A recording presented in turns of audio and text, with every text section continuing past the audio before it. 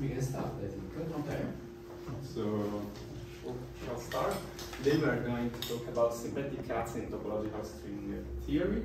And this talk, and also the title of this talk, is based on a, a really recent work by Luca Cassia, Pietro Longhi, and Maxim Zabzine.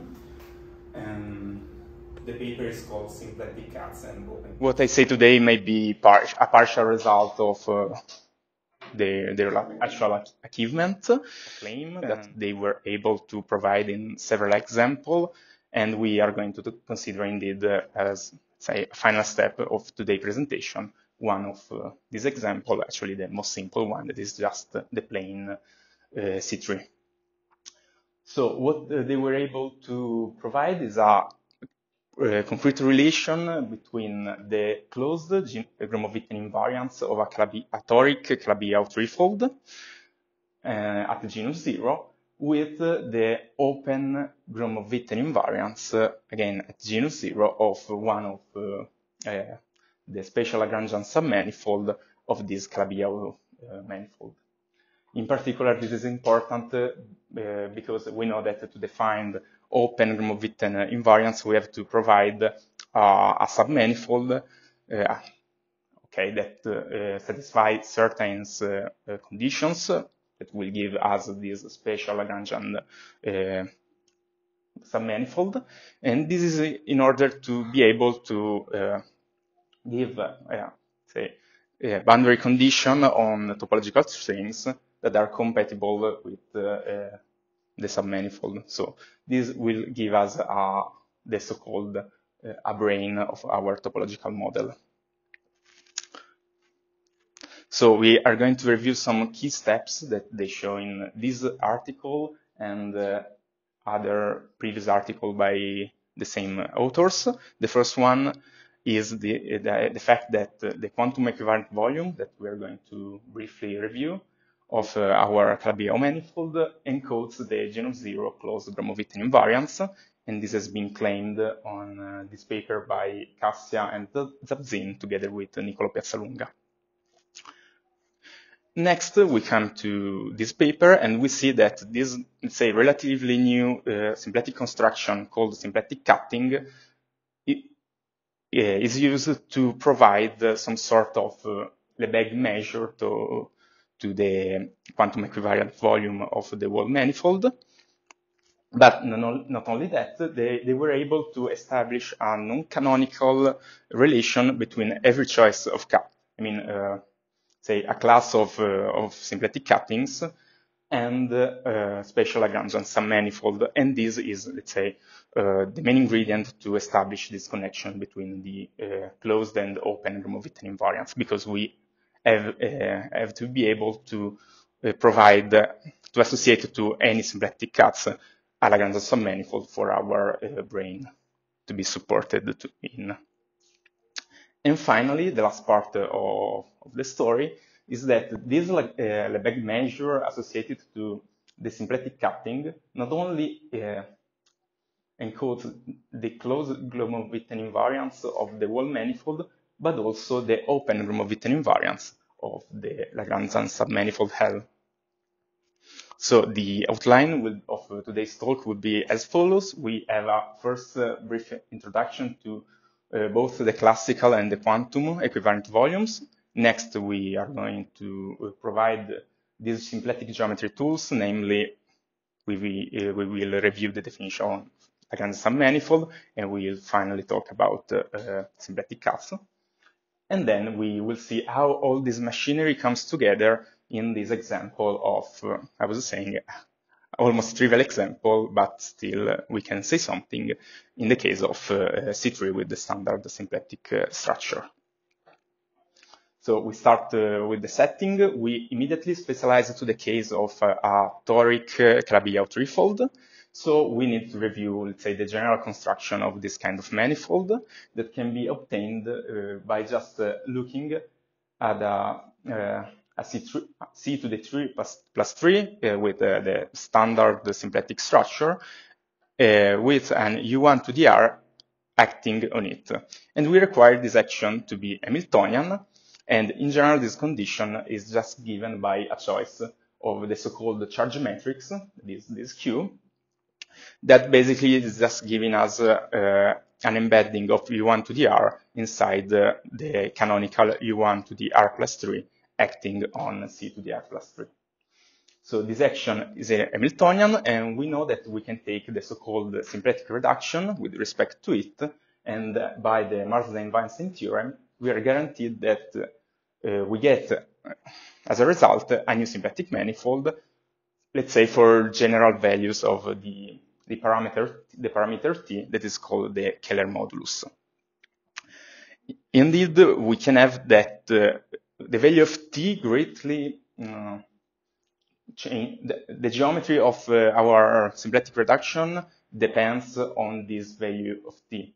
But in general, not only depends the say I call it I've been calling it uh, Kähler modulus because this modifies the Kähler structure of our manifold. But not only that, we have also that uh, uh for the so-called chambers, if we take uh, uh, the Kähler modulus to belong to different chambers that are regions in which the the codomain of our moment map is splitted, we will have different kind of geometries. For example, we could have that in some regions our uh, symplectic reduction is actually a smooth manifold, while in other regions we could just have that uh, uh, we get an orbifold because the action is only locally free and not free. Mm -hmm. Yeah, depending on the action. In this case, in this case, we, we are valued in R to the R. Yes. And uh, as I was saying, we are interested in Calabi-Yau manifold, so we also have to uh, enforce the Calabi-Yau condition that is in the, in the toric case is equivalent to asking that the uh, columns of the charge matrix sums to zero. And this has, among other things, the, the consequence that our Calabi-Yau will always going to be non-compact. So before I was saying, uh, I was talking about equivariant volumes because we need a way to regularize the infinite volume that the infinite, let's say, symplectic volume uh, that our manifold will always going to have. And so we consider, uh, I mean, since our manifold is toric, we always have a toric action on this of the dimension equal to, let's say, the complex dimension of our manifold, so in this case 3, and we are choosing one uh, sub, uh, subgroup, one parameter subgroup of our U1 to the 3, and we call this the equivariant action that is specified by these parameter, parameters epsilons that gives this uh, Hamiltonian action that uh, with moment map uh, H epsilon that in a suggestive way way we call the Hamiltonian. Because now we can define this integral, and we say that, that this is the equivariant volume of our manifold.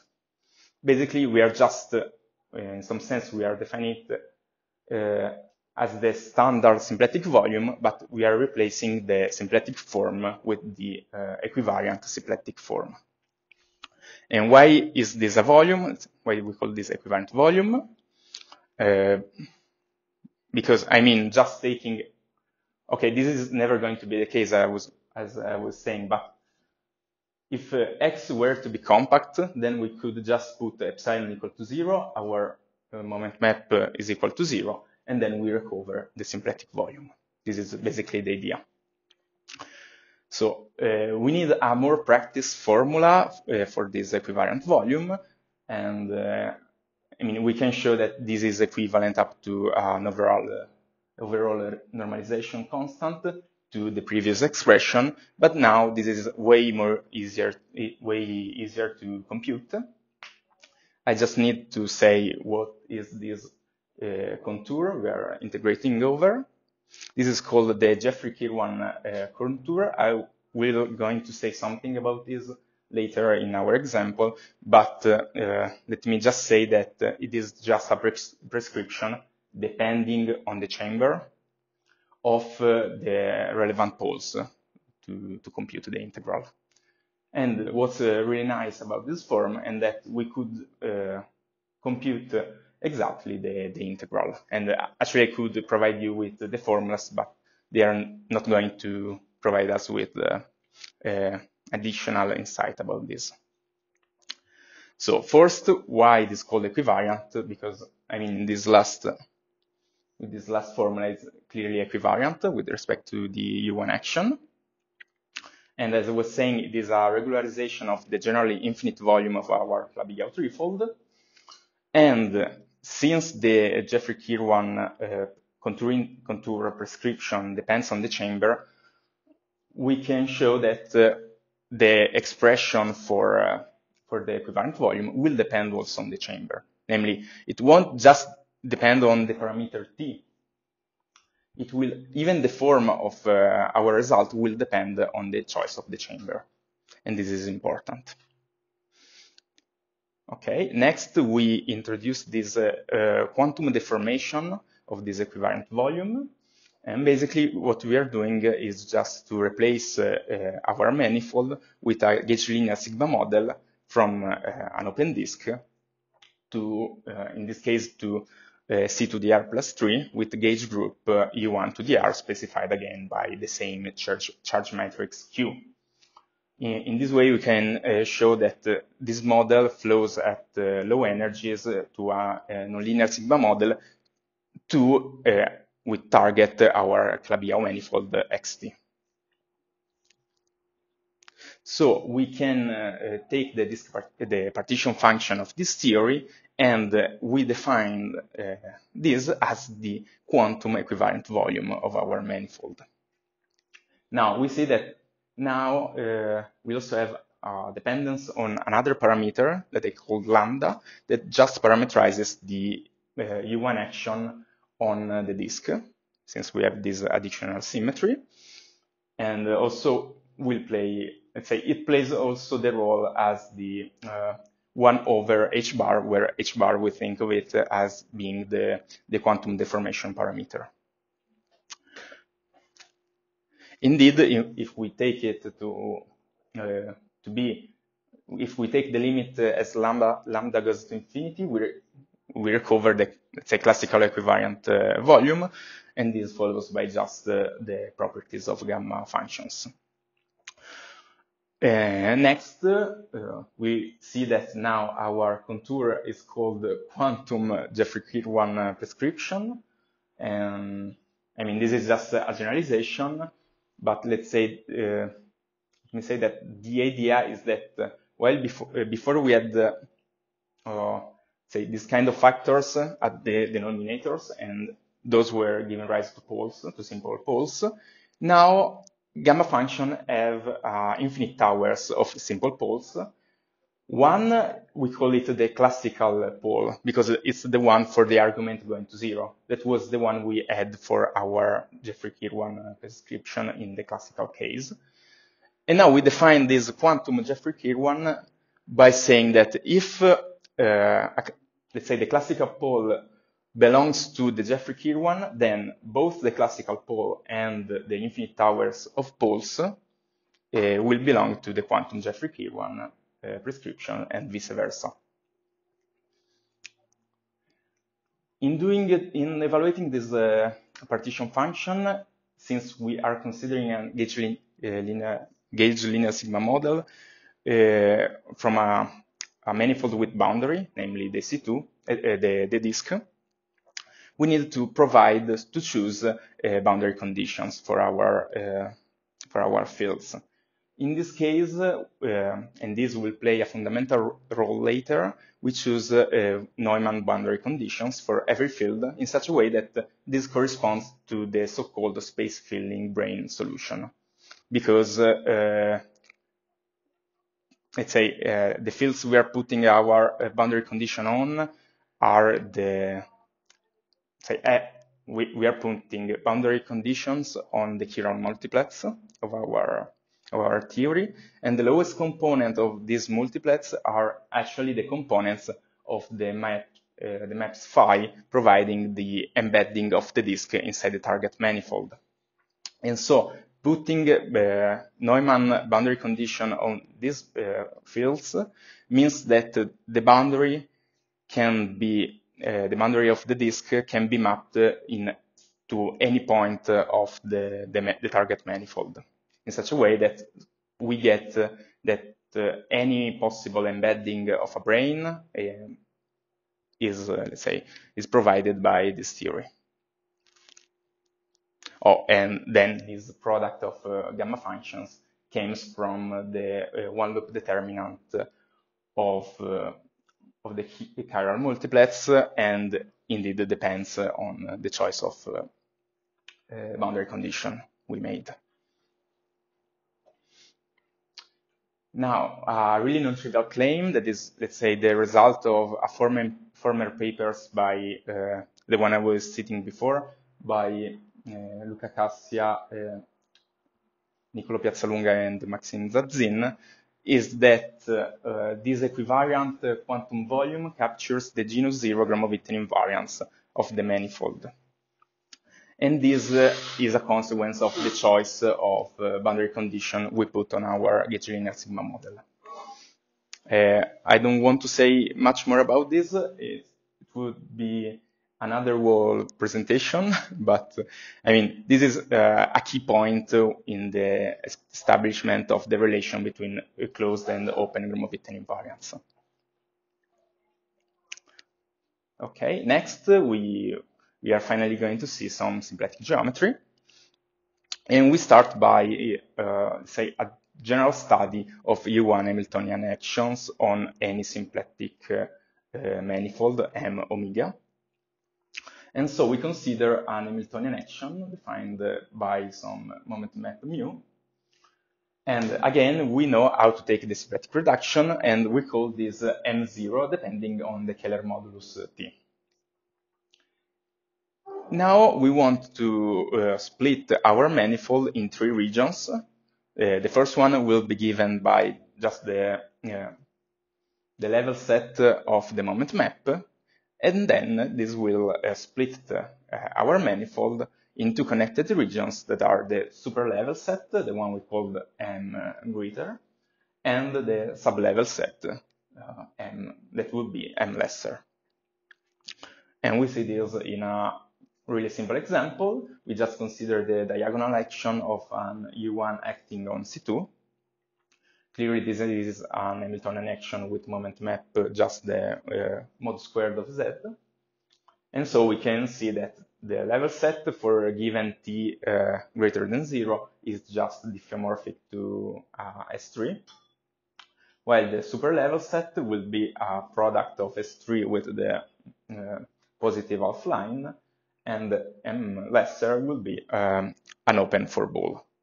And this is a suggestive uh, image of this splitting inside the moment polytope of the C2. Now, we, we need this, uh, say, we needed this little digression in order to uh, understand uh, the, the construction of the symplectic cutting. Uh, for the first step consists in defining another symplectic manifold out of the, the former, and we start by defining Z as the Cartesian product of our starting manifold M and uh, a factor C with the coordinate W. And we extend the symplectic form uh, on Z in, let's say, in the mo most obvious way. I mean, just by taking a direct sum of the two uh, symplectic form we had on each of those two factors. And now we can see that we have a choice of two uh, really natural Hamiltonian action on this manifold Z. And we call them U1 plus, plus uh, or minus, depending if we choose uh, uh, the action that is basically the diagonal, diagonal action on, uh, on M we the previous U1 action, and on C we choose either the, the action with weight minus 1 for U, U1 plus, or weight plus 1 for u1 minus. And then we see that this is clearly Hamiltonian with respect to uh, these moment maps, nu plus or minus. Again, we have symplectic manifolds, we have Hamiltonian action on, on them, and we can uh, define the symplectic reduction, and we call this uh, m bar plus or m bar minus.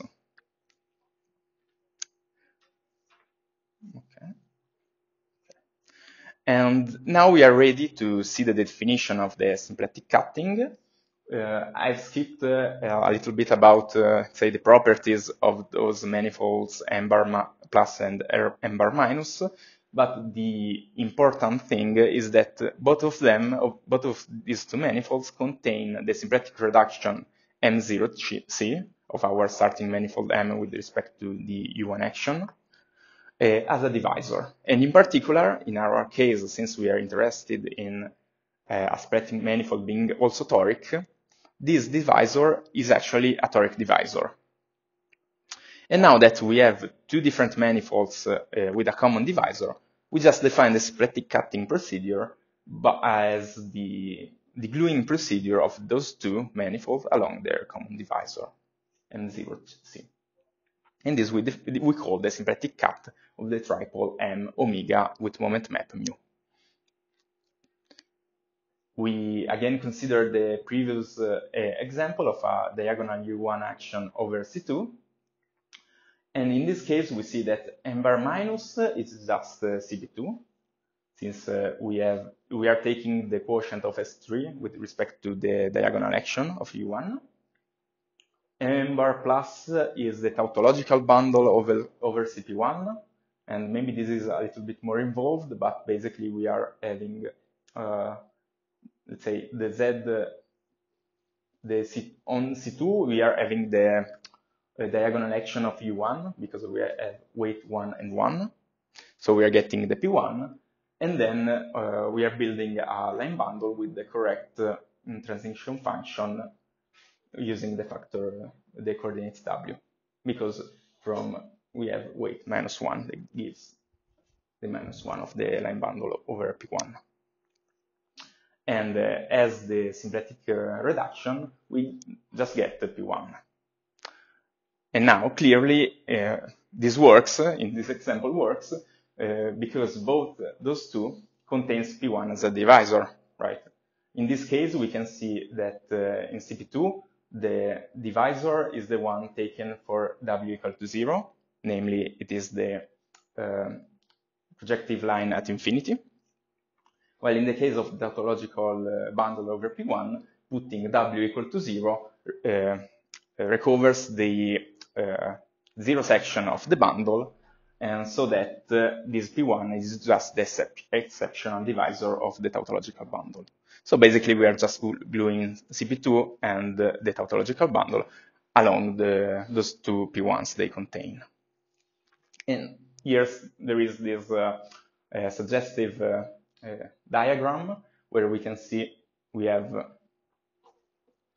on the Z1 mod square, Z2 mod square, we had just the previous image of before where, okay, sorry. Okay. Here we are.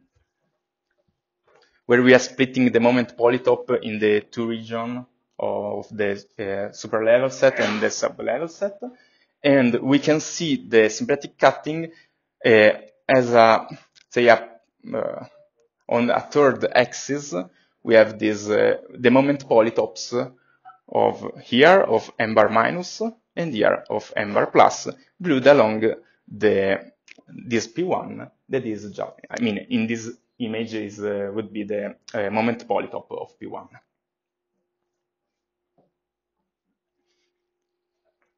Okay, now we want to specialize this procedure uh, for the case of our interest, that is the toric Calabi-Yau threefold.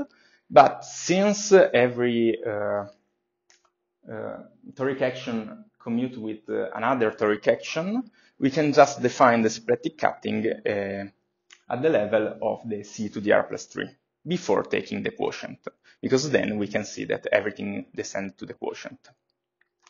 So we want to specify a symplectic cut, but this is equivalent to specifying a U1 action over on C to the R plus 3. And again, we before we had the charge matrix for specify such such an action, but now since uh, the action is just the of U1, we call uh, the charge matrix in some sense in some sense the charge vector of our action. And this will be a vector of integers inside z to the r plus 3. and then uh, this will have uh, the appropriate moment map uh, to show that this is, uh, again, an Hamiltonian action.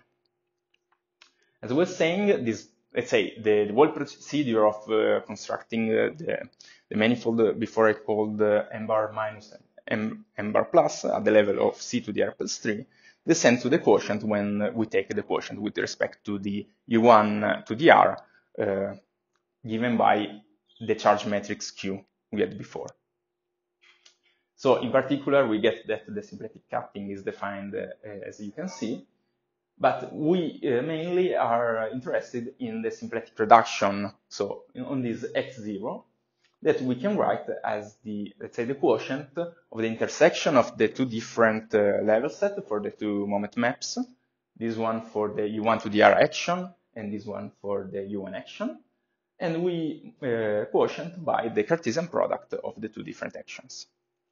Again, this works because everything commutes. This, uh, this remark may be seem uh, may seem uh, a little bit say, uh, useless in the start, but we will see that it has actually some consequence, consequences. And it is basically the fact that uh, the datum of a charge vector q is completely equivalent to specify an hyperplane, yet this, uh, this condition, inside the moment polytope of uh, c to the r plus 3. This is just uh, r, let's say the uh, positive real half line to the r plus 3. Okay, now a really brief review about uh, Lagrangian submanifold and special Lagrangian submanifold. Uh, we have this fact uh, about uh, Lagrangian submanifold in the toric setting, the, that is the following, that a toric Lagrangian submanifold L of a Calabi-Yau threefold, of a toric Calabi-Yau threefold, is given, can be described as a U1-2 fibration over an affine line L inside the moment polytope of the Calabi-Yau. So this means that we, let's say for what we are interested in in the following, we just uh, care about the, uh, the base space of this uh, fibration. And so we just have to give this uh, affine line L. But we can equivalently uh, give the affine line inside the moment polytope of C to the R plus 3. So we just have to uh, enforce the condition that it is contained also in the moment polytope of X. And this is uh, done by, say, uh, requiring that uh, Zi uh, belongs to the level set of the moment map mu q. And then we are left with two linear uh, conditions, independent, two linear independent conditions that are given by, again, two hyperplanes that we call H1 and H2 and we choose this uh, suggestive notation to, let's say, uh, give a relation uh, with uh, the charge vector we had before when we defined the symplectic cut. Okay, but we also, uh, we, as I said, we want L to be also special. That means that uh, the, the top dimensional holomorphic holomorphic form of the Calabi-Yau gets pulled back to a uh, volume form on the Lagrangian submanifold, and this is equivalent to, let's say, some sort of Calabi-Yau condition, and, and, that is uh, enforced by asking that the um, entries of the of the two so-called charge vectors sum to zero. Okay, now we have on one end the symplectic cut and on the other end the uh, special Lagrangian submanifold, and we want to recall the, their similarities.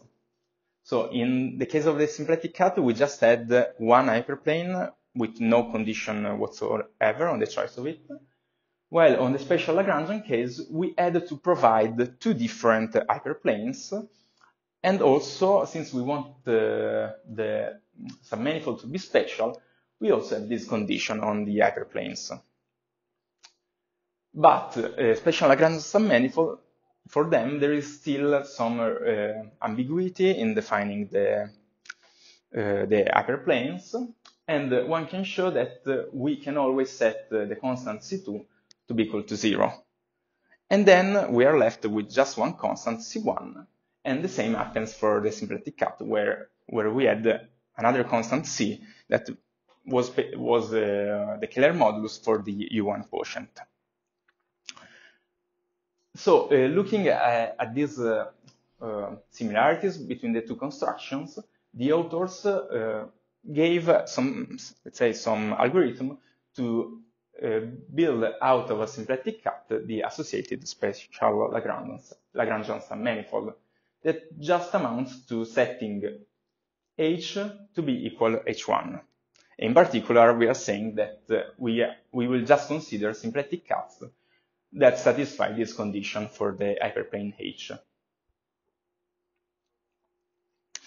And uh, so this relation is not canonical at all, since we know that to give uh, a unique special Lagrangian submanifold, we would also uh, have to provide a second hyperplane, but uh, uh, the authors claims that this doesn't play any role in the following, in establishing the relation with the open Gromov-Witten invariants of this Lagrangian submanifold L.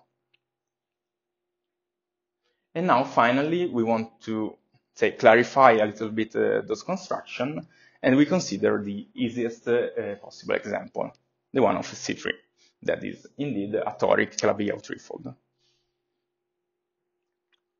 So uh, we can see that at first the, the example seems to be quite trivial because the equivariant volume of C3 uh, to compute it, we don't need to perform any integral since we don't have any U1 action for the definition of the Calabi-Yau we are considering. And so we get that this is just 1 over the product of the epsilon parameters. But what's important uh, is that even if uh, C3 is trivial, like for, uh, let's say, as a Calabi-Yau threefold, it still admits non-trivial uh, symplectic cutting. In particular, we have considered the symplectic cutting given by uh, the U1 action specified by this uh, charge vector, 0, 1, minus 1. And indeed, we have chosen uh, the vector in such a way that uh, its entries sum to 0 to, uh, to satisfy the, the condition I was talking about a moment ago. And in this way, our symplectic reduction that we call x0 will be a Calabi-Yau twofold for general for generic values of the Kähler modulus C.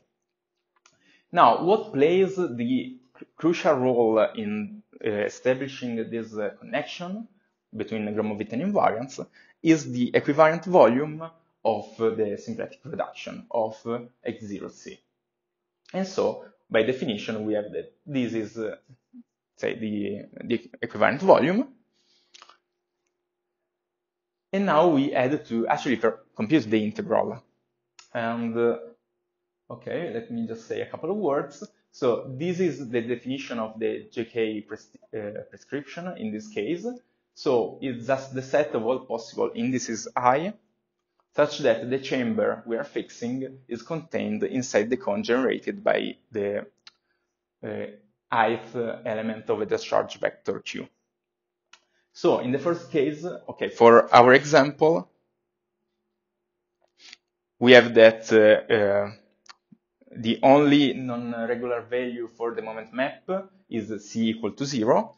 And so c equal to zero splits our moment polytope into region, the, uh, the positive real numbers and the negative real numbers. So the first choice uh, amounts to uh, c equal the positive real numbers, and for it, we have that uh, the only relevant pole is uh, phi equal to minus epsilon 2. And so we just have to compute uh, the residue of our simple pole. And we get this expression for the equivariant volume. And in the same way, we get an expression for uh, the second chamber, are uh, the negative uh, real numbers. And we see that, as I was saying before, our, the two expression depends on the choice of the chamber. They are actually different. But we notice that uh, at least they are continuous at c equal to 0. And this is no case, because now uh, our, uh, let's say, we can define this integral since uh, it is a continuous function.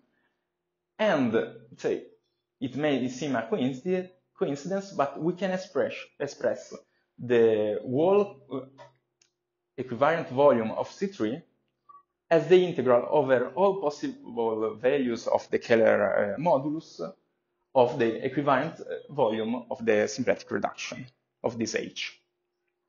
So intuitively, this is some sort of, we are in some way foliating the C3 with our, uh, with the symplectic reduction, even though this is not so obvious because the symplectic reduction is not a submanifold of, uh, of C3. And so we, we the authors choose this uh, suggestive name of Lebesgue measure uh, for H because it plays some sort uh, the role of some sort of measure for the the equivariant volume of C3. Now we repeat the, the whole construction also in the, uh, say in the quantum setting. Again, the quantum equivariant volume of C3 is trivial, meaning that we don't have to perform any computation. But we can also easily see that the limit lambda go, uh, going to infinity recovers the classical equivariant volume, as I was saying before.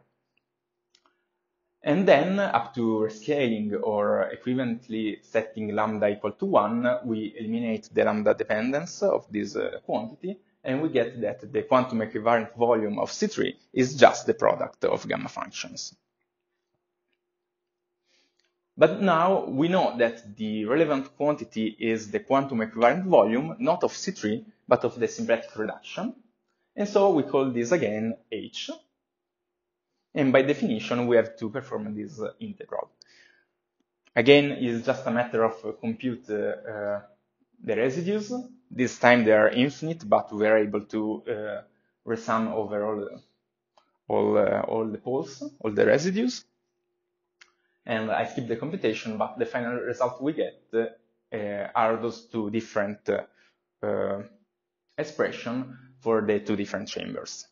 But this time they actually are not different. We can, I mean, we can uh, easily see that the expression is the same in the two different chambers, and this is a, uh, say, a, a, feature of the quantum theory. Basically, the uh, the instantons are, say, the the quantum fluctuations are killing the non-smoothness non at the change of, uh, of chamber at c equal to zero.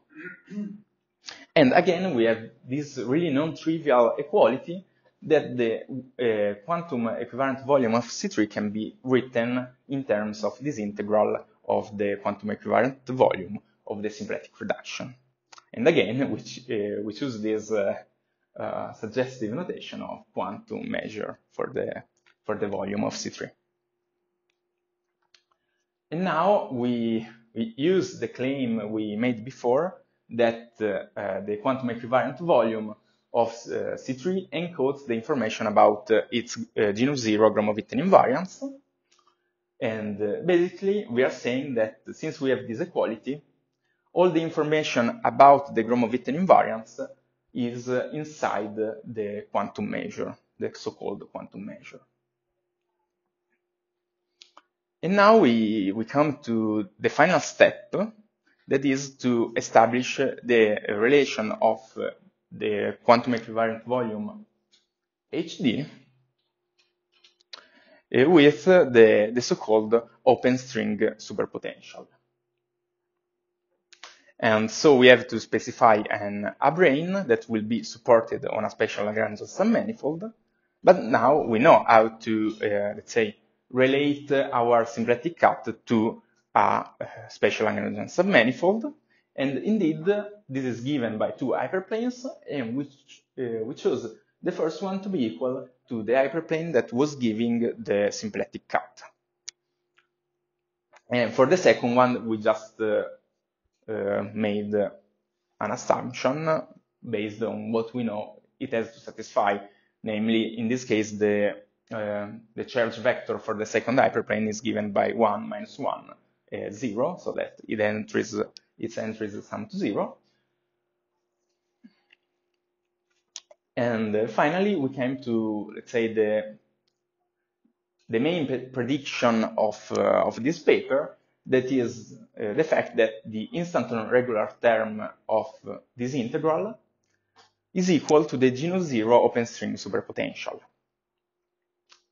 Okay, so what I mean by instanton regular term is that uh, regular term means that we are just taking the limit as epsilon, epsilon going to zero.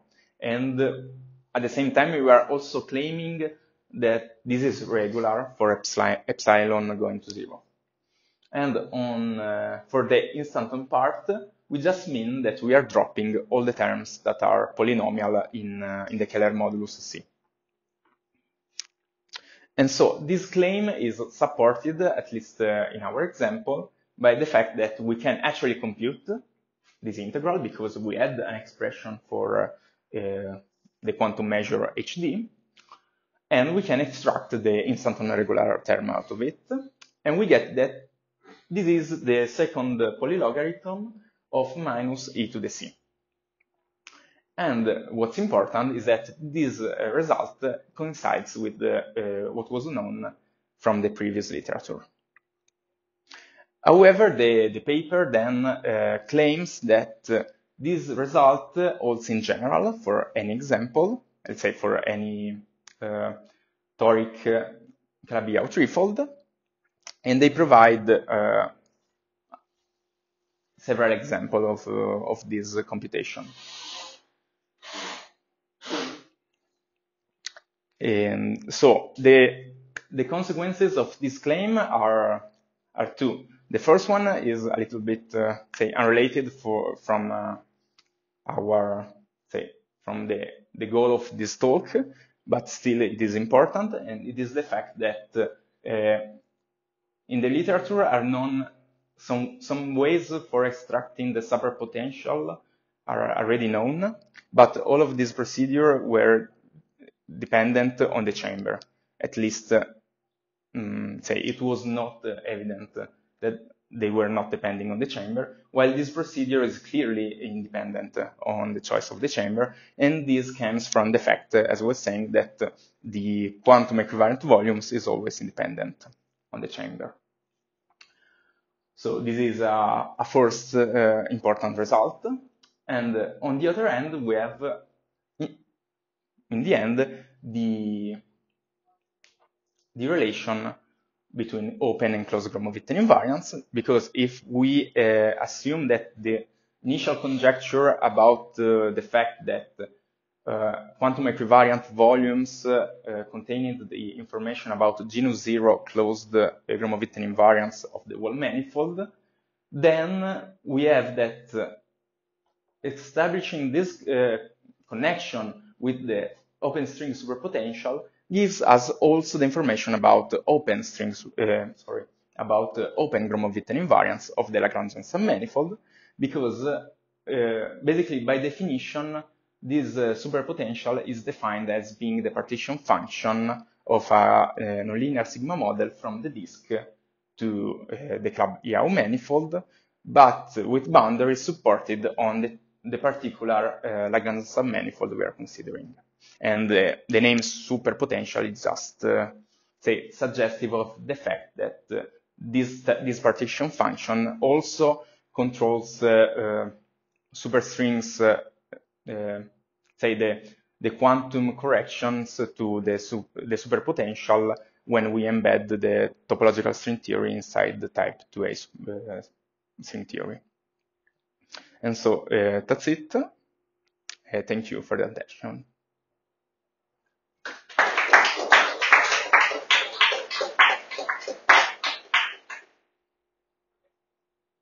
Questions? Yeah. Probably I'm confused. Yeah, at some point the symplectic cut disappeared. Can only the symplectic Yeah. Yes, indeed. Uh, so we, yeah, we only, in the end, we just use the symplectic reduction. But uh, what I think is that probably the symplectic uh, cutting will play a role in establishing this uh, relation between special Lagrangian and symplectic cut. Uh, because uh, the authors said that this analysis of this relation, I mean, of the role played by the second hyperplane defined, defining the cut, let's say, rise, gave rise to some uh, technicalities that they were going, they are going to to deal with in the second paper. So probably that's the reason. I I wanted, in any case, to to give a, say, a, quick definition of the symplectic cutting procedure. But yes, in this, at, at least at first, it seems like uh, we just care about the symplectic reduction. And of course, we, uh, I mean, we would also have to, to prove the, this relation in general, this relation in general, and probably this may depend on the on the whole procedure of the symplectic cutting. I don't.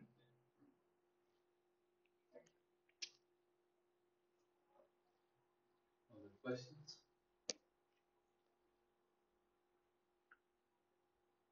Everybody is very happy. Okay, so we thank Thomas again.